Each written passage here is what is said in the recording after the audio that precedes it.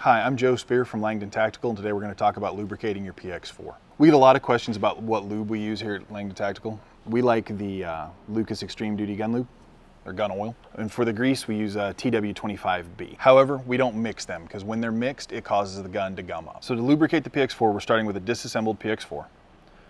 The main focus here is to get a little bit of lubrication on all of the metal to metal parts. I'm gonna go ahead and show you what those are now. We're gonna start with the barrel. The first thing that we lube are these three lugs here. So they each get one drop of lubrication. I go ahead and put one uh, drop through this uh, cam channel right here and one good dollop out here on the end of the barrel. Rub that in with your fingers and kind of cover the whole barrel surface. We're to set that aside. We're to switch to the slide. This is a good time to go ahead and lube the slide rails. And then on the inside of the slide, you've got uh, two surfaces that mate with the three lugs on the barrel we had just done. So you're going to put one drop on each of those. Go ahead and assemble your barrel into your slide. On the lug, we're going to put two drops at the back of the lug here and one drop over the top of the cam surface. And then we're just going to assemble